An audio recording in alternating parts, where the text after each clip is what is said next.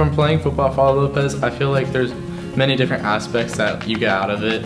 One is like you get a family out of it. It's just the guys on the team are always there for you, the coaching, everyone's there. And the coaches there are always trying to improve your skills and just make you a better person. Academics come first no matter what. They would rather see you succeed in the classroom first than on the field. You're getting the support around you from your teachers or your coaches. They make sure that your grades are staying there and not dropping at all. Join us for Volusia Catholic School's open house November 11th from 9 a.m. till noon.